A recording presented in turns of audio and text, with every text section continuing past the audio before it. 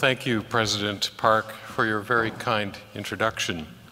Let me also thank President Lin of uh, Peking University for the invitation to join you today and for the privilege of offering this keynote address. Uh, it is a great honor. I'm delighted to be here. Uh, wonderful to be back in Beijing. Deeply grateful for the warm hospitality that I have received here over the years. Uh, indeed, Beijing truly embodies the spirit and optimism of this forum. So I hope my remarks this morning, now this afternoon, uh, continue uh, in that spirit. Uh, in particular, I want to speak to the forum's sub-theme, mutual trust, cooperation, and sharing. Let me begin with some context. Two powerful and conflicting forces are shaping the current geopolitical landscape. On the one hand, a movement to retreat from international engagement appears to be gaining momentum in some corners of the globe. The Brexit campaign in the UK is a perfect and somewhat dispiriting example more than 15 million people, nearly 54% of all ballots cast, voted for the United Kingdom to leave the European Union. The resulting turmoil in the UK and the EU has been well documented, but despite this, political parties in Germany, France, the Netherlands, Italy, Austria, and likely others by now have called for similar referendums on EU membership. Well, to foreshadow some of my thoughts uh, in my remarks today, it's worth noting that immediately after the Brexit vote, I began receiving letters from the leaders of major universities in the UK committing to expanding their collaborations with the University of Toronto and other global institutions.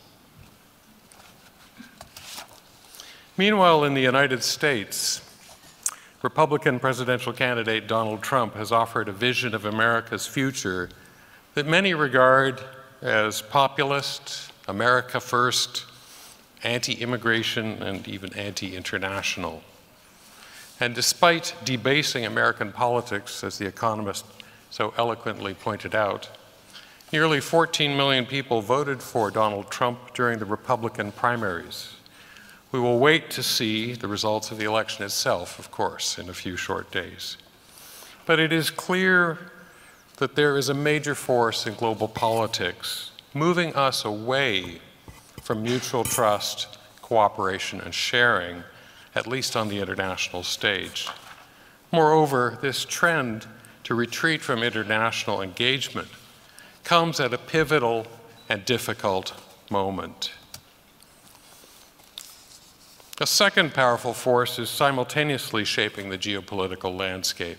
The international community is increasingly facing challenges that are global in nature and whose solutions require international cooperation. The challenges, climate change, international migration, health epidemics, poverty, and global inequality, to name a few noteworthy examples, cannot be met without working together. This slide shows the 14 pressing global challenges identified by the Millennium Project arising from the United Nations Millennium Development Goals. Countries working on these challenges in isolation may make incremental progress, but they are ultimately doomed to fail if they try to tackle them alone. So how can the tension between these two competing forces be resolved? Well, a close look at the map of how the UK voted in the Brexit referendum offers a promising insight. This is a map from the New York Times showing the Leave and Remain votes by region.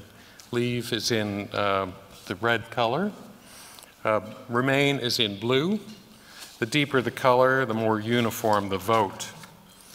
As many commentators have pointed out, the major urban regions are almost without exception intensely blue. I've circled some of the major ones here. You can see London, of course, Oxford and Cambridge, Edinburgh and Glasgow up uh, in Scotland, also Liverpool, Manchester, Leeds, Coventry, and so on. Well, what is less often pointed out when looking at a map like this is the striking observation that each of these locations is home to one or more well-regarded research-intensive universities. So this observation leads to the main point of my remarks today. A third powerful force is also reshaping the geopolitical landscape, global research collaboration. And this, I would suggest, provides one way to resolve the tension between the forces moving us away from international engagement and the international nature of the serious challenges that the world faces. Universities and research institutions based in major urban regions around the globe are collaborating in the discovery and transmission of new ideas and the innovations that come from them as never before in our history. These collaborations are still underappreciated, but they deserve both more recognition and more support as they help advance global prosperity. Let me spend the remainder of my time here on the podium reviewing some of the evidence for my confidence in the value of international research collaboration.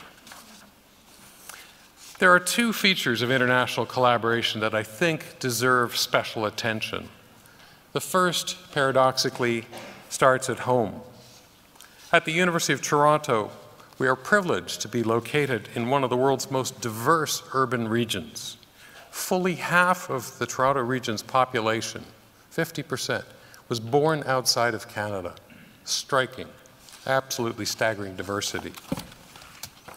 This remarkable diversity is reflected on our university's campuses. More than two-thirds of our undergraduate students identify as so-called visible minorities. International students from 165 countries comprise one quarter of the incoming class. And our faculty and staff are similarly international, with half of all faculty appointments coming from outside Canada. Now, many world-class universities and regions around the world can boast of similar demographics. So why does this kind of international diversity, a kind of local international collaboration, matter? Well, outstanding scholarship, teaching, learning, and innovation can thrive only by examining a variety of ideas, discarding those that fail, and improving those that work. The new ideas, fresh perspectives, and novel approaches we encounter by inviting the world to our cities, campuses, and classrooms help create new knowledge and solutions by testing our assumptions, shifting frames of reference, and offering new insights. It's hard to quantify the value of welcoming international students and scholars to our institutions and cities. And it's also sometimes hard to convince policymakers to make the necessary investments when there are so many other investments that seem more obviously beneficial to domestic audiences. But internationalization at home is an important part of international collaboration. The second aspect of this phenomenon is, of course, global collaboration among universities, institutions, and urban regions. The data are readily available, and they are absolutely compelling. So let's start with research intensity. This slide shows the most research intensive urban regions in the world as measured by publication count from 2010 to 2015. Uh, and if you're wondering, uh, I should point out that I have used broad geographic definitions. So for example, uh, the numbers for London here also would include Oxford and Cambridge as part of the broad uh, metropolitan region uh, of Greater London. Strikingly, the world's top research producing regions are also among the world's most dynamic metropolitan economies. And there are good reasons for this, from the qualities that attract talent and capital to the conditions that create and leverage opportunity. Now, full disclosure, for much of my academic career, uh, as you heard in the introduction, I've studied the economic geography of innovation and the role of urbanization and cluster dynamics in advancing a region's well-being. So I could talk about this subject all day, but rest assured I will not. Uh, what I want to focus on here uh, is a, another feature that these regions all share. They are fundamentally collaborative regions, and they host globally connected world-class universities. So this slide shows the world's leading urban regions by international collaboration, measured by the number of peer-reviewed publications that scholars in these regions have written with authors in other countries. The players are substantially the same, but with some notable changes in ranking. It's worth noting the changes in US regions. For example, this chart shows only international collaborations. US institutions and scholars have many domestic collaborators with, which they work, but are less likely on, on balance uh, to engage in international collaboration. Overall, the, the numbers are really staggering. Since 2010, scholars at just the top 50 research-intensive universities in the world, just the top 50, have collaborated with international partners on peer-reviewed publications 1.2 million times, creating a vast knowledge network that crisscrosses the globe. I think it's worth emphasizing a couple of points here. First, global international collaborations have been growing rapidly in recent years.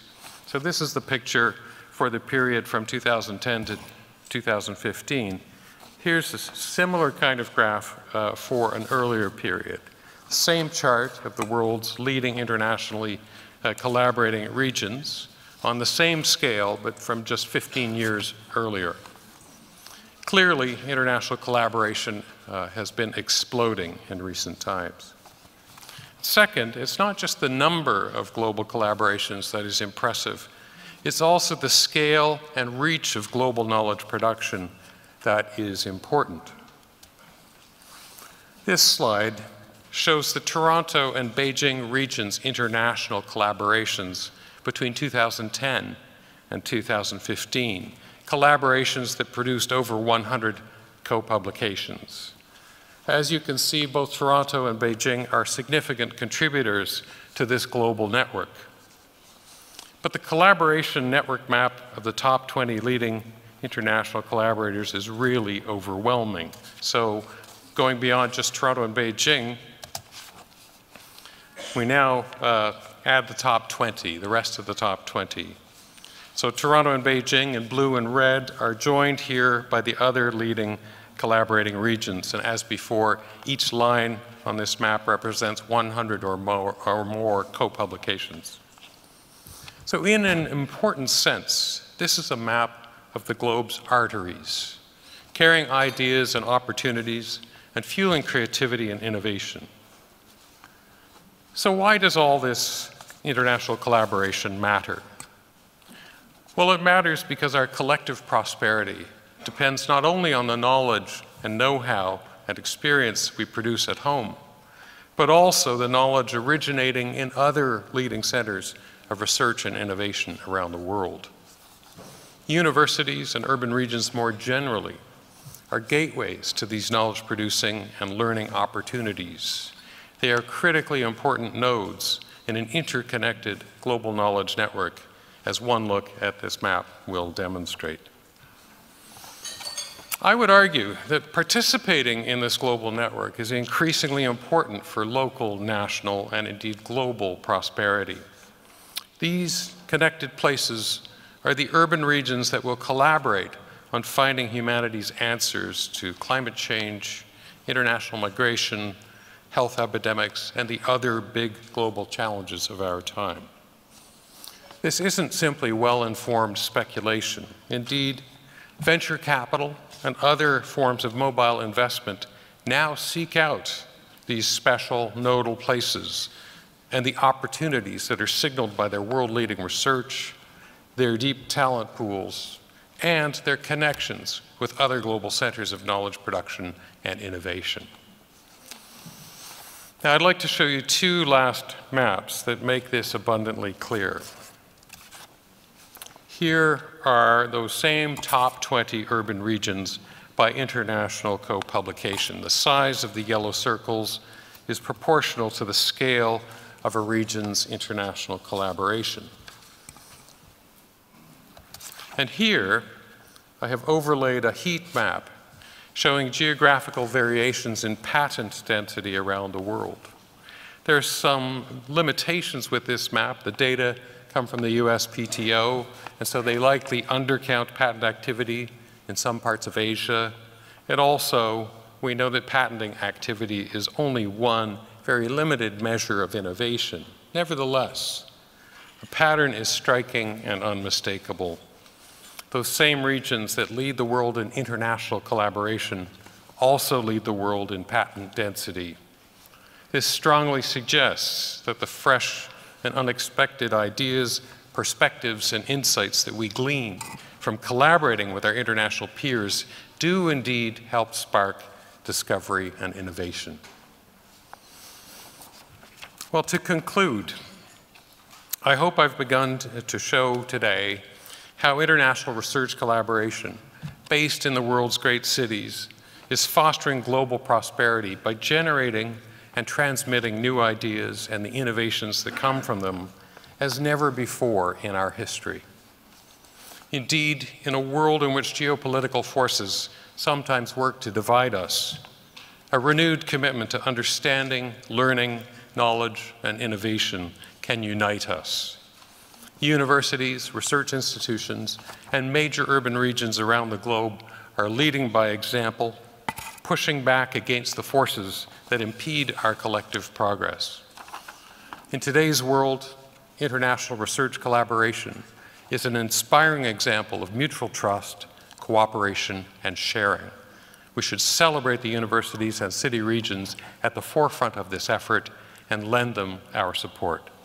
Thank you for your kind attention.